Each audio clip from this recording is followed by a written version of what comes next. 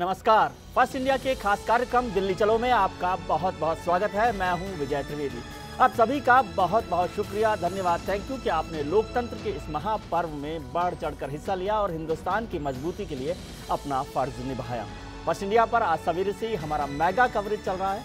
16 घंटे के इस मेगा कवरेज पर 20 सीटों के लिए हमारे 40 रिपोर्टर और 100 से ज़्यादा लोगों की एडिटोरियल टीम और इतने ही लोगों की टेक्निकल टीम आप तक वोटिंग की, चुनावों की पल पल की और चप्पे चप्पे की खबरें देती रही। ये मेगा कवरेज रात 10 बजे तक चलता रहेगा। अभी दिल्ली चलो के दो घंटे के इस खास कार्यक्रम में हम राजनीतिक नुमाइंदों के साथ जानने की कोशिश करेंगे कि वो इस वोटिंग के क्या मायने देखते हैं। वैसे पिछले पंद्रह दिनों में हमने दिल्ली चलो के कार्यक्रम में ढाई हज़ार किलोमीटर का सफ़र तय करके राजस्थान के राजनीतिक मूड, मिजाज को भापने की कोशिश की और जनता को न केवल राजनीतिक नुमाइंदों से रूबरू कराया, बल्कि नेताओं से हिसाब किताब पूछने का मौका भी दिया कि उन्होंने पिछले पाँच साल में क्या किया और अगले पाँच साल में वो क्या करेंगे। राजस्थान में पहले चरण में 20 सीटों पर वोट डालने का काम पूरा हो गया है और उनके नतीजे तो 16 मई को सामने आएँगे। लेकिन साहब, इतने दिन किससे इंतज़ार होता है? तो आज ही हम रिज़ल्ट जानना चाहेंगे हमारे गेस्ट के साथ, अपने नेताओं से। हमारे साथ हैं राज्य सरकार में मंत्री और बीजेपी के वरिष्ठ नेता अरुण चतुर्वेदी साहब, कांग्रेस के वरिष्ठ नेता राजीव अरोड़ा साहब सीपीएम के वरिष्ठ नेता भंवर सिंह शेखावत साहब और इलेक्शन वास से कमल टाक साहब और बेहद खूबसूरत आवाज़ की मालकिन सिंगर सुप्रिया। आप सबका बहुत बहुत स्वागत है। अरुण जी, आज जो वोटिंग हुई है, जिस तरह से बहुत बढ़ चढ़ कर सब लोगों ने हिस्सा लिया है, क्या मायने आप इसको देखते हैं? विजय जी मुझे लगता है कि लगभग अभी तक का जो आंकड़ा कहता है जी। वो कोई 63 परसेंट के आसपास वोटिंग बताता है। और मुझे लगता है ये और बढ़ेगा दो परसेंट तीन परसेंट कितना आठ साढ़े आठ तक जब फाइनल फिगर आएगा। जी। और पिछली बार का 2009 का जो पोल था वो 48 पॉइंट समथिंग 48.59 परसेंट या कुछ ऐसा रहा होगा। जी। उससे लगभग लगभग कोई 17 परसेंट के आसपास वोटिंग परसेंटेज बढ़ा है। वैसे तो ये विधानसभा के चुनाव से देखें तो लगभग कोई अ, हम कह सकते हैं कोई सात आठ परसेंट कम होगा। लेकिन विधान पिछले विधानसभा चुनावों के मुकाबले लोकसभा में हमेशा कम कम रहता है मैं वही कह रहा था विधानसभा के चुनाव के मुकाबले में हर बार लोकसभा का चुनाव कम रहता है। इस बार का ये अतिरिक्त जो मतदान मुझे लगता है मुझे लगता है एक तो बड़े पैमाने पर जो नया मतदाता आया उसमें मतदान के प्रति बहुत रुझान था उसके लिए सब राजनीतिक दलों ने प्रयास किए चुनाव आयोग की तरफ़ से भी बहुत अच्छे प्रयास हुए आप सब मीडिया चैनल्स के माध्यम से भी जागरण का एक बड़ा अभियान चलाया गया उसका एक प्रयास रहा। दूसरा एक बहुत बड़ा कारण जो मुझे लगता है कि पिछले दस साल का जो शासन दिल्ली में रहा उसमें चाहे वो महँगाई होगी भ्रष्टाचार होगा एक ऐसा कठपुतली प्रधानमंत्री होगा जो बहुत कमज़ोर प्रधानमंत्री के नाते जिनकी छवि बनी या फिर दुनिया का कोई भी देश आकर के इस देश में कुछ भी करके चला जाए और हम उसकी प्रतिक्रिया तक ना देना इस तरह की स्थिति होगी। इस पर उसके कारण भी एक आम मतदाता केंद्र सरकार पर और इस सब पर चर्चा करेंगे। देखते हैं हमारे जो मुख्य निर्वाचन अधिकारी अशोक जैन वो इस समय हमारे को वोटिंग का हाल बता रहे हैं कि कितनी वोटिंग हुई है। विभिन्न प्रकार की उनकी संख्या लगभग 320 के आसपास है और उसमें से लगभग 225 शिकायतों का निस्तारण हो चुका है तथा शेष अभी विभिन्न स्तरों पर चल रहे हैं।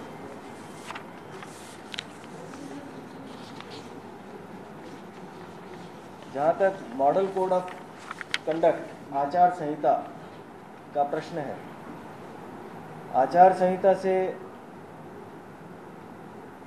संबंधित wall writing painting banner poster हटाना आदि के कार्य जो किए जाते हैं उनकी संख्या इस फ़ेज़ के लिए 17,280 ऐसे मामलों में कार्रवाई की गई। कुल एफआईआर दर्ज हुई 18 और अठारह एफआईआर दर्ज हुई कुल तिरानवे प्रकरण दर्ज किए गए। अब मैं आता हूँ आज के मतदान ओर, जो कि आज का मुख्य विषय है।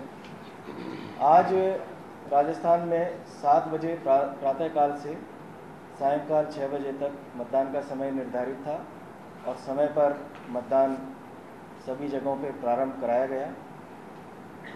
पूरे दिन मतदान की स्थिति पर नियंत्रण नज़र हमारे सभी अधिकारीगण जो यहाँ मौजूद हैं, इन सबों ने रखी हुई थी। और नियंत्रण कक्ष वगैरह लगातार कार्यरत कर रहे थे। पुलिस के भी नियंत्रण कक्ष और कंट्रोल रूम सब जगह कार्यरत थे।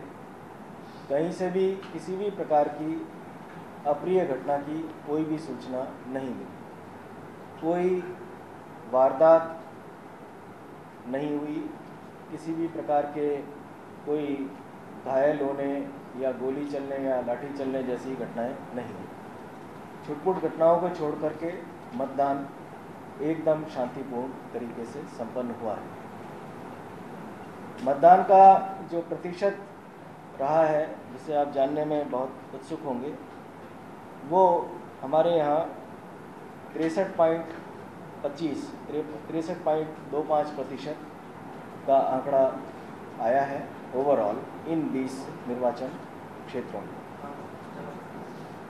ये पिछले 2009 के लोकसभा चुनावों में इन्हीं क्षेत्रों से जो मतदान हुआ था, उसमें 48.09 प्रतिशत, यानी लगभग 48 मान लें, उससे 15 प्रतिशत से अधिक की इंक्रीज इसमें आ रही है। राजस्थान में किसी भी पिछले लोकसभा चुनावों को अगर हम देखें तो हाईएस्ट मतदान नौ सौ में हुआ था। जिसमें 98 में सर 98 में हुआ था। उसमें 60 पॉइंट समथिंग परसेंट मतदान हुआ। था तो ये उससे भी ज़्यादा मतदान इंगित कर रहा है। ये आंकड़े अभी टेंटेटिव हैं और इनमें कुछ परिवर्तन संभव है क्योंकि अभी पूरे आंकड़े हमारे पास। राजीव जी हम सीईओ अशोक जैन साहब को सुन रहे थे। 15 परसेंट का इजाफा इस बार हुआ है। पिछले बार के लोकसभा चुनावों के मुकाबले में देखें 48 की बजाय 63 परसेंट हुआ है। तो इसका क्या मायने है? केंद्र सरकार से पिछले चार महीनों से भी ज़्यादा नाराज़ हो गए लोग? देखिए पहले तो ये एक शुभ संकेत है कि मतदान ज़्यादा हो रहा है। जी। लेकिन अभी भी मतदान मेरी अपेक्षा के अनुरूप नहीं हुआ। मैं सोच रहा था कि मतदान का प्रतिशत आपको लगता है इससे भी ज़्यादा नाराज़ थे लोग? नहीं इससे ज़्यादा नाराज़गी की बात नहीं है। ये देश का लोकतंत्र मज़बूत हो रहा है मेच्योर्ड हो रहा है और आगे आने वाले सभी चुनावों में 60 प्रतिशत से ऊपर मतदान होगा ही होगा। हम तो सोचते हैं कि मतदान पचासी नब्बे प्रतिशत तक पहुँचे। तब लगे कि इस देश के अंदर ज़्यादा से ज़्यादा लोग भागीदारी हिस्सेदारी निभाएँ हिस्सेदारी निभाएँ उनका चुनाव प्रतिनिधि विधानसभा में जाए संसद में जाए उनसे पूछने का उनको अधिकार हो। अगर 50 प्रतिशत लोग ही मतदान करते रहे और उसके बाद सरकार के काम के ऊपर प्रतिनिधि के काम के ऊपर प्रश्न चिन्ह लगाते रहे तो वो उचित नहीं है। ज़्यादा ज़्यादा लोगों को जाना चाहिए। उसमें बहुत बड़ा रोल मीडिया का समाचार पत्रों का और सभी राजनीतिक दलों का है जिसकी वजह से मतदान प्रतिशत बढ़ रहा है। लेकिन मुझे उम्मीद थी कि चौहत्तर पचहत्तर प्रतिशत विधानसभा के समय में मतदान हुआ था तो लगभग उसके बराबर तो सत्तर प्रतिशत से ऊपर मतदान होगा। उस आशा के से मेरे को लगता है कि सर इसका पॉलिटिकल मैसेज क्या है? पॉलिटिकल मैसेज निकालना अभी बहुत जल्दी है।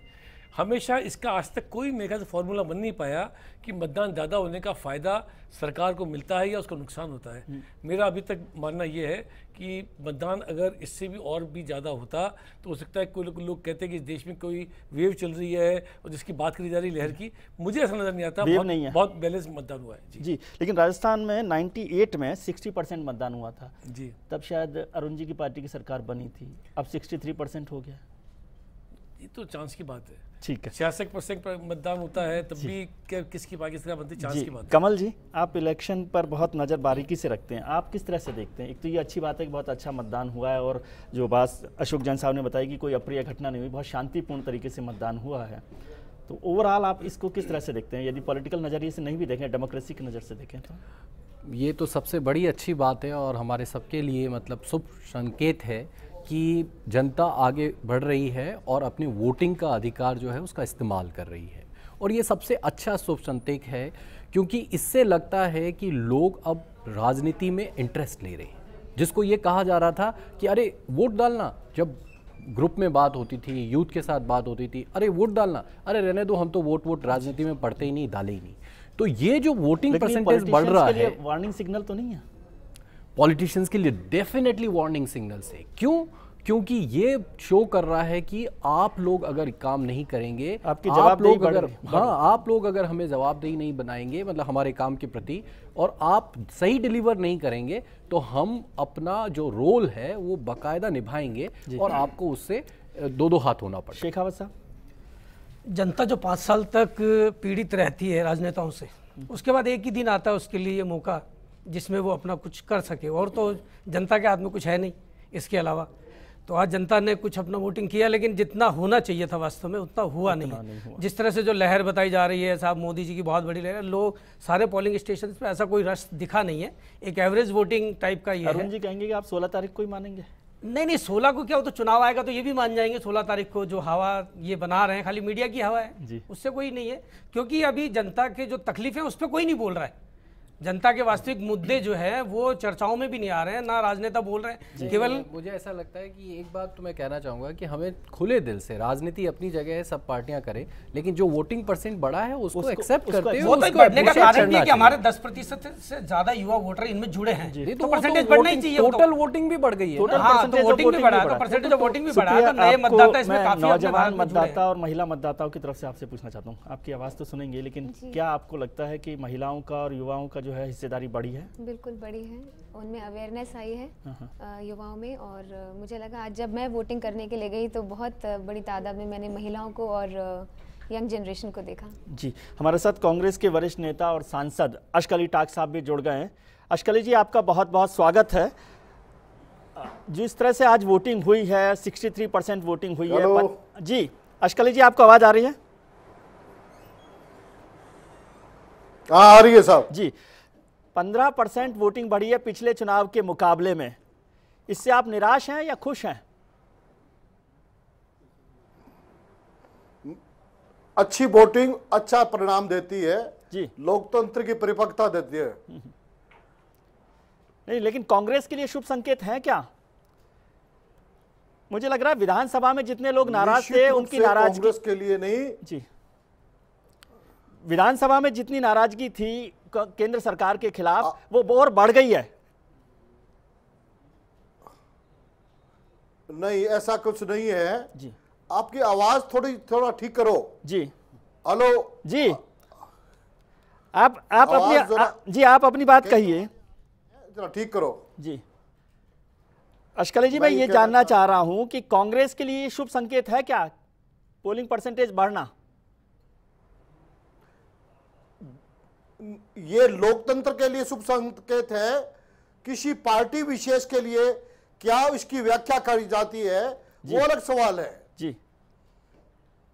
नहीं आप किस तरह से देख रहे हैं? आप तो बहुत अनुभवी राजनेता हैं और बड़े लंबे समय से कांग्रेस के साथ जुड़े रहे हैं। कांग्रेस के मैं पॉलिटिकल एनालिस्ट से देखता हूँ जी। कि लोकतंत्र में अच्छे मतदान का होना जी।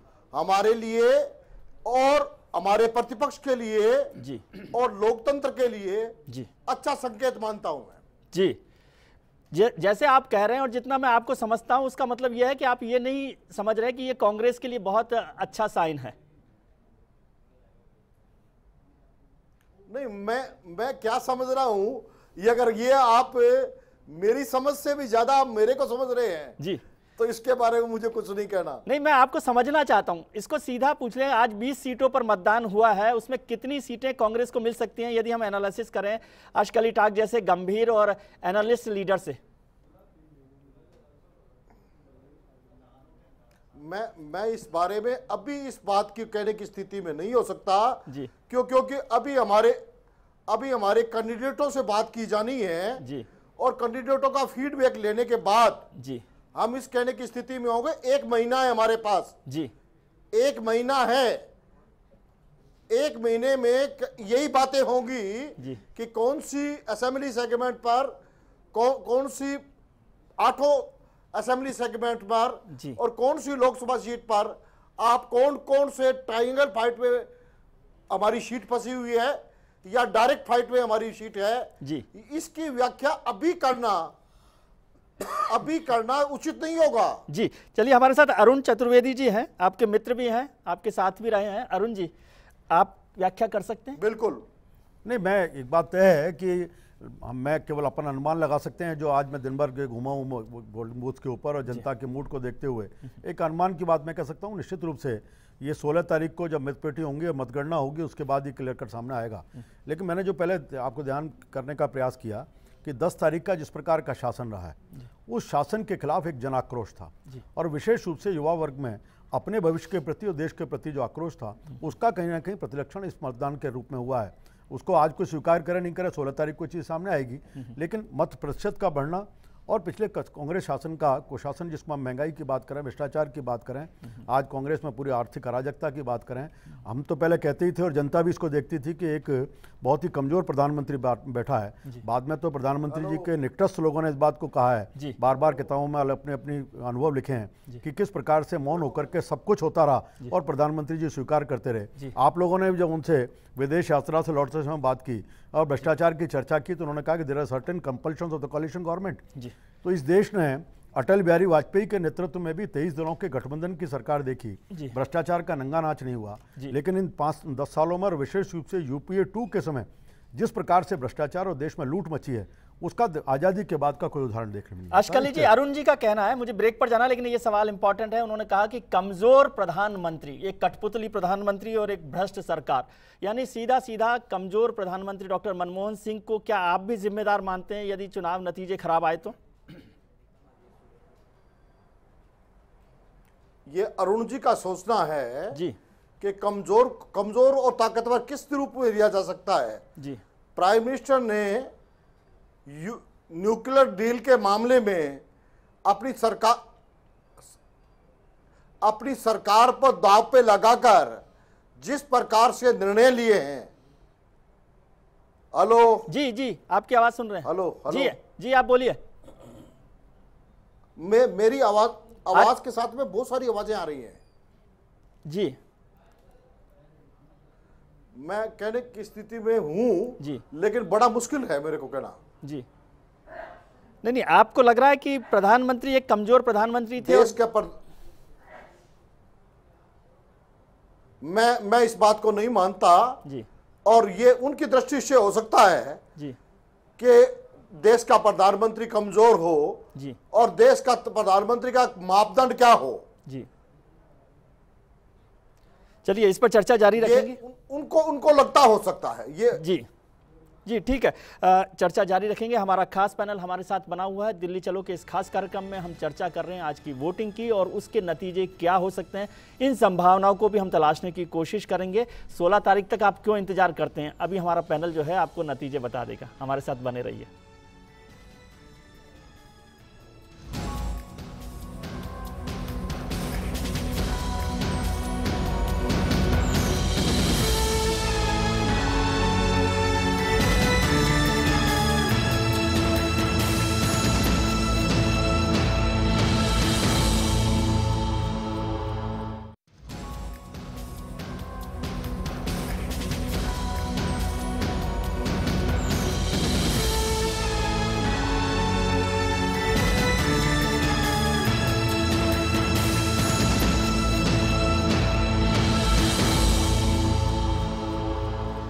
दिल्ली चलो के इस खास कार्यक्रम में आपका बहुत बहुत स्वागत है। हम मना रहे हैं लोकतंत्र के महापर्व का जश्न। तो जश्न के लिए हमारे साथ हैं एक बहुत खूबसूरत आवाज़ की सिंगर सुप्रिया जी। सुप्रिया जी आपके साथ करते हैं फिर राजनीति की बात तो होती रहेगी। बिल्कुल आज का दिन राजस्थान में मतदान का दिन रहा तो मैं राजस्थान की मिट्टी से ही जुड़ा हुआ राजस्थान की महिमा को बखान करता हुआ एक गीत गाऊँगी।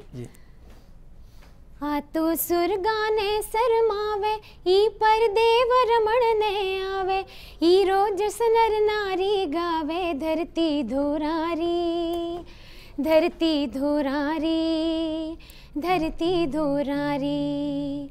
आ तो सुर गाने शरमावे, ई पर देव रमण ने आवे, ई रोज नर नारी गावे, धरती धोरारी। धरती धोरारी धरती धोरारी। ओ सूरज कण कण ने चमकावे। ओ सूरज कण कण ने चमकावे। चंदो इमरत रस बरसावे। तारा निछरावल कर जावे धरती धोरारी। तारा निछरावल कर जावे धरती धोरारी। काला बादलिया गहरावे, बिरखा घूखरिया घमकावे बिजली डरती ओला खावे, धरती धोरारी धरती धोरारी धरती धोरारी। बहुत खूब बहुत खूब। राजीव जी, अशकली जी जिस बात का जवाब नहीं दे रहे, क्या आप देना चाहेंगे? क्योंकि आप बहुत बेहतर तरीके से समझते हैं। एक कमज़ोर प्रधानमंत्री, एक मज़बूत अध्यक्ष देखिए मनमोहन सिंह जी पहली यूपी की सरकार बनी विजय जी तब भी प्रधानमंत्री थे। और पाँच साल बाद जनता ने ज़्यादा मजबूती के साथ उनको समर्थन दिया। निश्चित रूप से जब भी इतिहास लिखा जाएगा एक बहुत ही सफल प्रधानमंत्री के रूप में जिसने अपने दो कार्यकाल पूरे करे हों जिसके समय में 1947 के बाद से लेके 2013 तक के बीच में सबसे ज़्यादा विकास की दर इकोनॉमी की किसी देश की पहुँची हो और उसके बाद में चाहे किसानों के ऋण माफ़ करने की बात आई हो चाहे फ़ूड सिक्योरिटी बिल की बात आई हो चाहे राइट की बात हो इन सब चीज़ों एक, की एक छोटी सी जानकारी मैं थोड़ा सा क्लैरिफिकेशन ये सारी चीज़ की क्रेडिट आप मनमोहन सिंह जी को दे रहे हैं या सोनिया जी को दे देखिए सोनिया गांधी कांग्रेस पार्टी की अध्यक्ष रही हैं यूपी की चेयरपर्सन थी। मैंने थोड़ा सा करेक्शन मनमोहन क्यों नहीं क्यों नहीं सोनिया गांधी को भी श्रेय कांग्रेस पार्टी को भी श्रेय है और कांग्रेस पार्टी के नेता होने के नाते मनमोहन सिंह प्रधानमंत्री थे उनको श्रेय है उनको फक्र है उनका कार्यकाल इतिहास में शानदार तरीके से लिखा जाएगा और एक मज़बूत तो इन नतीजों की इन चुनाव नतीजों की ज़िम्मेदारी या सेहरा जो है वो सोनिया गांधी जी के सिर पर है या मनमोहन सिंह जी के सिर पर? देखिए चुनाव का नतीजा पाँच साल बाद जब चुनाव हुए थे पिछली बार तब किसके ऊपर बंदा था? कांग्रेस पार्टी का जो यूपीए का जो कार्यकाल था उसको लोगों ने समर्थन दिया था। और हमको अभी भी विश्वास याद है। नहीं आ रहा किसके लिए आप कह रहे हैं? किसको सहरा बंधेगा क्यों नहीं बंधेगा किसको पूरी कांग्रेस मतलब पार्टी को सहरा बंधेगा यूपीए को सहरा बंधेगा जो उपलब्धियाँ हुई हैं नेतृत्व को नहीं- नेतृत्व को नहीं, सोनिया जी को हमारा सोनिया जी को नहीं? नेतृत्व सामूहिक नेतृत्व है। यहाँ मोदी और बीजेपी की तरह मामला नहीं है। जी। एक एक व्यक्ति के लिए वोट मांगे जा रहे हैं। जब आइडियोलॉजी की बात नहीं हो रही हो तो मेरे को ये कई बार सोचने को पड़ता है कि कल को कोई मोदी जी पे आरोप साबित हो गया तो क्या पूरी बीजेपी उसको अपने ऊपर लेगी? या उसको अलग कर देगी। आज की तारीख में जब वोट मांगते हैं तो कहते हैं मोदी की सरकार लाओ मोदी को वोट दो। और कल को कुछ ये तय हो गया तो ये भी शायद अभी क्लियर कर देना चाहिए कि बाद में भी वो उसी तरीके से मोदी और बीजेपी को ग्रहण करेंगे। मैं तो राजीव जी को पूछना चाहूँगा कि मुझे एक तो पहली चीज़ तो क्या जब जब किसी देश में कहीं देश में कहीं पे भी कांग्रेस पार्टी जीतती है तो आप कहते हो सोनिया जी के नेतृत्व के ऊपर मोर लगी राहुल गांधी की स्तुति करते करते अपन थकते नहीं हैं। और आज अपन जब खारने की बात आएगी तो अपन किसी ना किसी को बलि का बकरा बनाएँगे तो किसको बनाएँगे ये तो सोलह तारीख को अपन सब देखेंगे। इसी कमज़ोर प्रधानमंत्री को हमने देखा जब लोकपाल बिल लोकसभा में आया तो आपके वही शहजादे, वही लोग युवा नेता आपके लोकसभा में बिल को फाड़ के चले गए। उस समय देश के प्रधानमंत्री का मज़ाक बीजेपी नहीं उड़ा रही थी। कोई और वामपंथी दल नहीं उड़ा रहे थे कोई और दल नहीं उड़ा रहा था। आपका ही पार्टी का एक सांसद आपका ही जो बड़ा नेता है जिसको सुनकर के पूरी पार्टी चलती है वो प्रधानमंत्री डेमोक्रेसी में क्या चीज़ ठीक है? एक मज़बूत अध्यक्ष कमज़ोर प्रधानमंत्री या एक मज़बूत प्रधानमंत्री पद के दावेदार और कमज़ोर अध्यक्ष? दोनों चिप मिलकर के पार्टी चलेगी और एक कहीं ना कहीं किसी एक परिवार का ठेका किसी पार्टी में नहीं चलेगा। जी। हम मिलजुल करके सब बैठ करके निर्णय करें और उस निर्णय के आधार पर उसको फलीभूत करने के लिए सब लोग लगे आपकी पार्टी का एक नारा है जो मैं हमेशा चर्चा में होती रहती है आप भी जिसका ज़िक्र करते हैं जिसमें लिखा होता है नेशन फ़र्स्ट पार्टी सेकंड। लेकिन यहाँ तो नेशन और पार्टी से पहले मोदी जी आ गए। नहीं पार्टी ने बहुत पहले आपने भी कहा शायद बहुत लंबे समय तक पहले आप लोग इस बहस को चलाते रहे कि भारतीय जनता पार्टी अपना किसी व्यक्ति को तय क्यों नहीं करती किसके नेतृत्व में लड़ेगी। जब पार्टी ने मिल बैठ करके पूरे पार्लियामेंट्री बोर्ड ने तय किया कि मोदी जी हमारे पार्टी जिनके नेतृत्व में हम चुनाव तो प्रधानमंत्री- नहीं उन्होंने बार बार कहा है कि देश प्रथम है। और हम जब भी किसी आज नहीं आज़ादी के बाद के कितने ऐसे उदाहरण हैं जिन उदाहरणों में भारतीय जनता पार्टी में जब ज़रूरत पड़ी तो देश के लिए अपने खुद के से- छोड़ करके और पार्टी उन सिद्धांतों के साथ खड़ी रही हमेशा जी। अशकली एक बार अशकली जी हमारे साथ जुड़े हुए हैं। अशकली जी बार बार ये बात हो रही है अरुण जी कह रहे हैं उनको आशंका यह है कि इस बार पार्टी जो है कांग्रेस पार्टी चुनाव हार जाएगी। इसलिए आप ये ज़िम्मेदारी ये सहरा सोनिया गांधी को बांधने के लिए तैयार नहीं है इन चुनाव नतीजों को। क्या आप तैयार हैं? लोकतंत्र में व्यवस्था होती है हार हार होती है जीत जीत होती है। जी। और उस हार के और जीत के यश और अपयश दो, दोनों के बीच में जी। नेता को स्वीकार करना पड़ता है जी। और और नेता ने स्वीकार किया है। जी। लेकिन ये भारतीय जनता पार्टी के लोग जी। जुम्मे जुम्मे जिनको आठ दिन हुए हैं जी। अभी इस बात की व्याख्या करने वाले कौन होते हैं? जी। कि कांग्रेस हार रही है और बीजेपी जीत रही है। जी। एनडीए जीत रहा है और यूपीए हार रहा है। जी। अभी तो देश के आधे चुनाव हुए हैं मेरे भाई। जी। नहीं नहीं लेकिन सवाल हम तो अभी ये पूछ रहे हैं कि ये आधे चुनाव का आधे चुनाव का क्रेडिट जो है क्रेडिट आप किसको देना चाहेंगे 16 मई को? 16 मई को इस बात का हर राज्य के अलग दृष्टिकोण होते हैं। अलग दृष्टिकोण होंगे और उस दृष्टिगत समग्र रूप से इसकी व्याख्या की जाएगी। और उस कौ, कौन से राज्य में कांग्रेस प्लस करती है कौन से राज्य में माइनस करती है और ये पार्टी भारतीय जनता पार्टी या एनडीए आधे हिंदुस्तान में जिनका अस्तित्व नहीं है एक अशकाली जी डर क्यों लग रहा है आपको? मुझे डरे डरे आप महसूस हो रहे आ रहे हैं उन राज्यों में। अशकाली जी आप डरे डरे क्यों बोल रहे हैं? नहीं मैं मैं जी। डरे डरे क्यों बोल रहे हैं? आप बता दीजिए सोनिया गांधी जी के नेतृत्व में पार्टी चलती है तो उन्हीं की उन्हीं को उन्हीं के सेहरा बंदेगा जीत का। ये तो आप बोल सकते हैं ज़ोर से आप अशकली जी तो रोज बोलते हैं सोनिया गांधी जिंदाबाद। मैं मैं तथ्य तथ्यों से तथ्यों से अनजान नहीं रहना चाहता। जी। अरुण जी अभी नए नए सरकार में आए हैं। जी।